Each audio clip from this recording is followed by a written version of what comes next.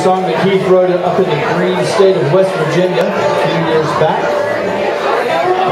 Dedicated it to a part of a house. It's called Nancy's Front Porch. Chairs move this way like two inches.